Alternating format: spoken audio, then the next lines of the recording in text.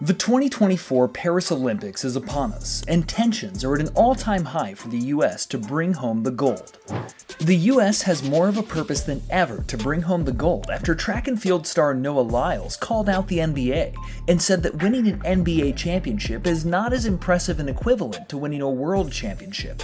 His comment went viral and sparked many responses from basketball media and many of the NBA's best players. You know, the thing that hurts me the most is that I have to watch the NBA finals and they have world champion on their head. World champion of what? The United States? Noah Lyles set off a spark in USA basketball, and it led to the creation of the best Olympic team since the 2008 Redeem team. The 2024 team is coming out with a vengeance after the two biggest stars in the NBA, LeBron and Steph, did not play in the 2020 Olympic Games. And let's of course not forget last year's FIBA team, which was one of the worst displays of Team USA basketball we have ever seen. Not even bringing home the gold and losing to Germany in the semifinals. There's no doubt the horrific performance in the 2023 FIBA Games, along with the outrageous comments from Noah Lyles, led LeBron to come back and recruit the best Olympic team possible and shut doubters like Noah Lyles up for good. But with all this being said, how good are they? I mean, in theory, they should be the best team in the Olympics, but winning the gold this time may not be as easy as we all think. Let's not forget that the NBA has truly become a global game in the past decade, and international superstars like Nikola Jokic, Giannis Antetokounmpo, SGA, and Victor Wembanyama are all competing against the US for gold this time around. There's no doubt that this year is by far the most competitive global competition in Olympic basketball history. But let's break down their roster, their exhibition games so far, and how well they match up against some of the top competition. The 2024 Team USA roster is stacked with some of the biggest names in basketball. LeBron James, Steph Curry, Kevin Durant, Anthony Davis, Jayson Tatum, Bam Adebayo, Devin Booker, Jrue Holiday, Anthony Edwards, Tyrese Halliburton, Joel Embiid, and Derrick White. I mean, this roster is absolutely loaded, and the blend of seasoned veterans and rising stars makes for an incredibly formidable lineup. There's no one else to start with than LeBron James, who is the obvious leader and veteran presence on this team. LeBron's experience in international play, combined with his incredible basketball IQ, versatility, and leadership, make him a cornerstone of this team. He might not necessarily be the top option like he used to be, but he'll still be a focal point of this team in every aspect of the game. The most exciting player added to this roster, in my opinion, is Steph Curry, who shockingly is making his Olympic debut. Curry's shooting prowess is unparalleled, and his ability to stretch the floor opens up opportunities for his teammates. Steph is going to draw so much attention when the ball is in his hands, as he's a threat to shoot as soon as he crosses half court. But I'd be interested to see how they can get Curry going off the ball, as he's excellent at coming off screens and getting in catch and shoot situations. I'd like to see this side of Steph, as there's so much talent on this team that he doesn't need to be the primary ball handler like he has to be on Golden State. There's a very good chance he'll be the shining star of this team. Of course, we still have Kevin Durant, who's been the most consistent and leading scorer in the past three Olympic Games. But KD is unfortunately getting up there in age and is dealing with a calf injury. I personally don't think we're going to see a healthy Kevin Durant in these games, and there will need to be a much bigger hole to fill from a scoring perspective if KD is not 100%, which I don't anticipate him to be. Some key names I see adding some scoring depth and two way versatility on the wing to make up for KD's presence are Jayson Tatum, Devin Booker, and Anthony Edwards. All three will provide great scoring ability for this team, but I see Ant Man and Tatum contributing much more defensively. Anthony Davis, Joel Embiid, and Bam Adebayo bolster the front court, providing rim protection, rebounding, and scoring both inside and out. Their presence addresses the size issue that plagued that FIBA World Cup team, whose only true big man was Walker Kessler. That alone just shows how much front court depth this team lacked last summer and the center upgrade is by far the biggest upgrade from the 2023 FIBA team to the 2024 Olympic team. Tyrese Halliburton is another young talent on this roster that's going to offer some playmaking and shooting off the bench, but I don't expect him to have a major role on this team. And finally, we have the Celtics duo of Derrick White and Jrue Holiday, who will bring their defensive prowess and versatility to this team. I think their role will shine bright on a team filled with superstars that need the ball in their hands and need to be scoring to be effective. Having an additional layer of security on the perimeter and guys that are gritty will definitely help contribute to this team's success. But before we continue, I wanted to quickly shout out today's video sponsor, Swish Rim, the best basketball rim reducer on the market. Did you know that it's scientifically proven that practicing on a smaller rim is more effective than a regular rim? Just check out these graphs on our website and you'll see the difference. Even the greatest shooter ever, Steph Curry, practices on a smaller rim. Although we're not associated with Steph and he uses some high tech, NASA engineered machines to make his rim smaller, for the rest of us, there's Swish Rim. And it's so simple to install. Swish Rim comes with a pull and uses strong neodymium magnets to snap in place, so there's no ladder needed. Attach or detach it to any rim in seconds. And here's the best part Use the code HOOPDungeon, all one word, at checkout to save 15% off your total order. Don't miss out on this chance to take your shooting to the next level.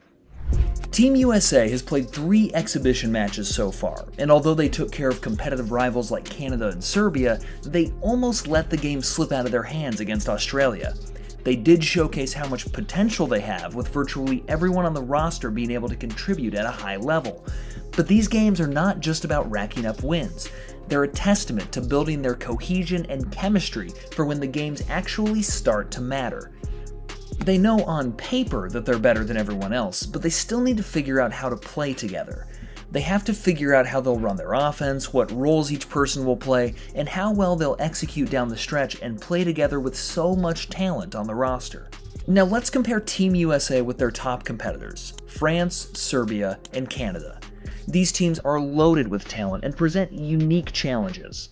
France, led by Rudy Gobert, Evan Fournier, and potentially Victor Wembanyama, is a defensive powerhouse.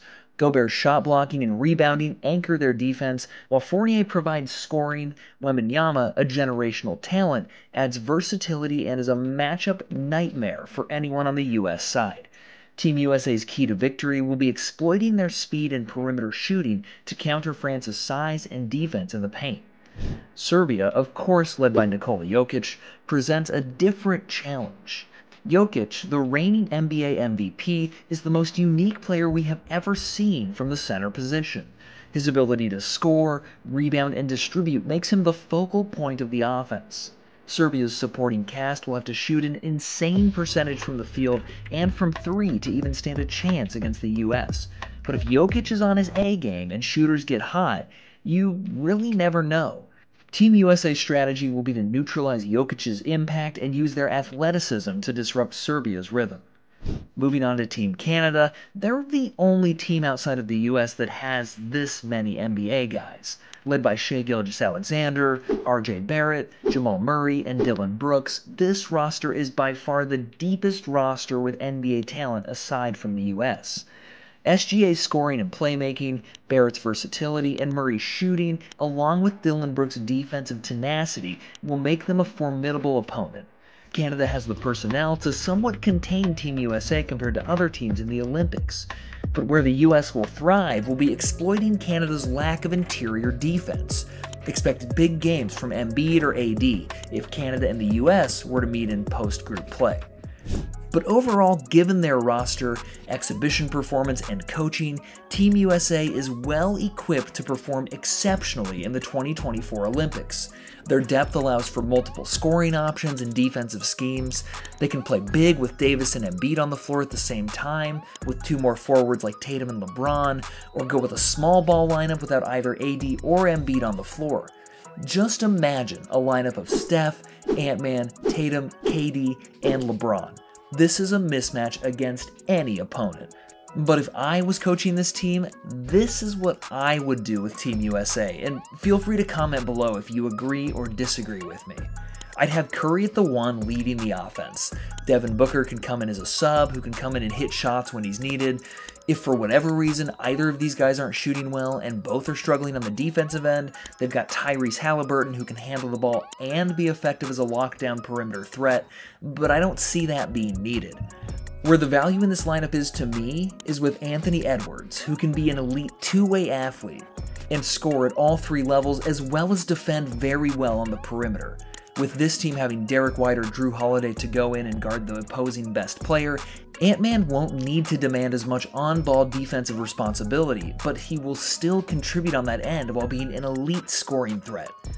And of course, along with Ant-Man, Tatum and LeBron are providing a similar two-way capability like Ant-Man, but will have more of an emphasis on getting downhill to the basket and either scoring or kicking it out to the shooters.